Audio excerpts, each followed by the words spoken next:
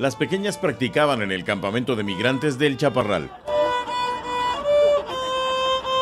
Su música desentonaba con el entorno, pero para ellas era un gusto. The program in the camp was so absolutely filled with joy. El programa en el campamento estaba tan lleno de gozo que sobrepasó todas mis expectativas.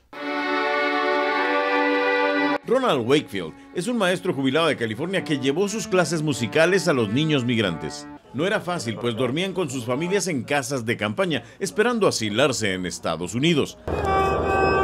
Vivían en la incertidumbre, pero la música parecía llevarles a un mejor lugar. Sí era duro, pero a veces cuando llegábamos a enseñarles violín, para ellos era más felicidad.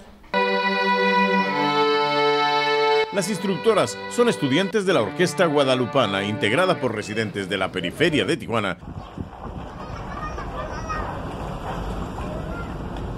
y dirigida por Wakefield, un misionero franciscano. Pasa por todas nosotras a nuestras casas, nos lleva al chaparral todos los días.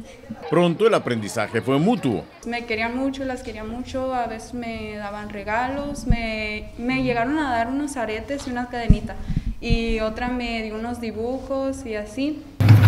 Esa felicidad se interrumpió cuando el gobierno de Tijuana los desalojó. Es muy triste. Y y a lo mejor pues ya no les vamos a dar clases y eso es aún más triste. Algunas cargaron con lo que aprendieron y fueron a buscar otro lugar donde vivir. Es bastante injusto porque independientemente del violín, eran las, sus cosas. Son cosas realmente importantes para la, para la comodidad de uno. Sobre todo si, si viven en un campamento en el que su única comodidad es unas cobijas en el piso. El maestro considera que las niñas migrantes ya fueron empoderadas por la buena voluntad de las chicas de la orquesta.